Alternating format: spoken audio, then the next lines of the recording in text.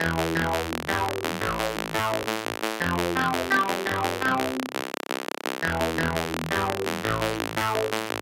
no, no, no.